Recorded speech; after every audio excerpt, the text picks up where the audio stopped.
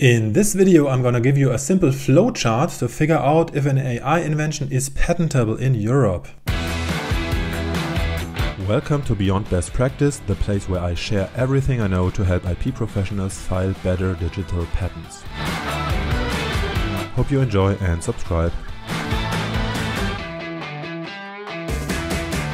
Okay, so this is from a conference talk I was giving recently at the ASTP annual conference, which is the leading European technology transfer association.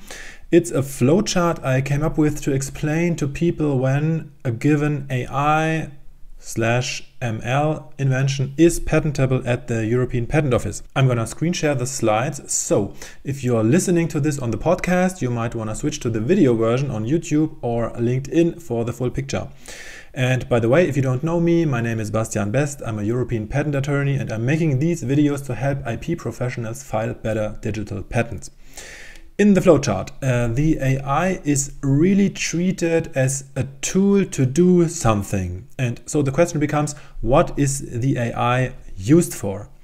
And if it's used for something non-technical, bad luck, it is not patentable.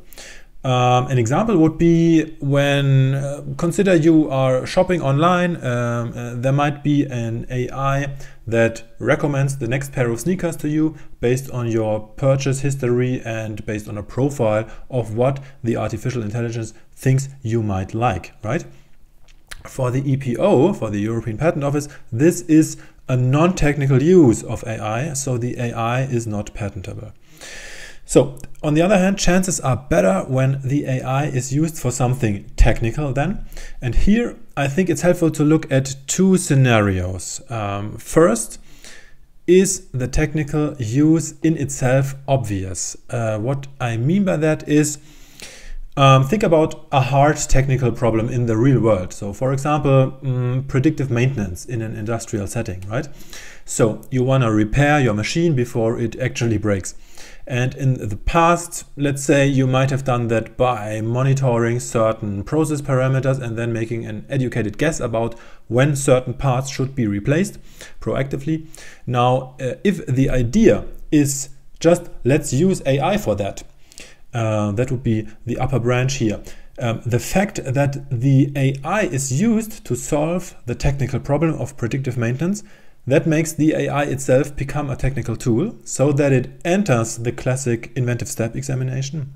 However, on this level of abstraction, it's probably obvious because, well, using AI for something like predictive maintenance is probably part of the current trend, right? So to get a European patent, the idea of using AI for something technical would need to be surprising in some sense. And I'd say today, this is probably difficult to argue in many um, scenarios.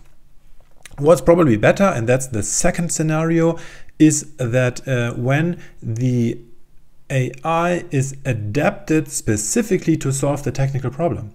So the idea is not just um, let's use AI for that, but the invention is really about the way the AI, the machine learning, is set up specifically so that it can actually solve the technical problem at hand. And there's lots and lots of white space in this area and I see AI patents getting granted left and right by the EPO. So that's kind of my overview flowchart to figure out on a broad level whether uh, there is any chance of thinking about patent protection for a given AI uh, use case. Now, of course, the decisive question in the end is always which problems are now technical and which ones are non-technical. And uh, especially in the AI space, there is some mildly strange developments at the uh, in the European case law, I would say. But that's probably a topic for a separate video. So please do let me know in the comments if this flowchart is useful and if you want me to share some concrete examples of technical and non-technical uses of AI. Let me know in the comments. Talk to you soon. Bye bye. Thanks so much for stopping by. If you found this content valuable, here's three more ways to file better digital patents. 1. Book a free virtual coffee meeting with me and ask me anything, link in the description. 2.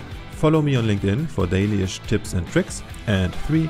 Email this content piece to a colleague and share it on LinkedIn. This way I see it's relevant and can make more.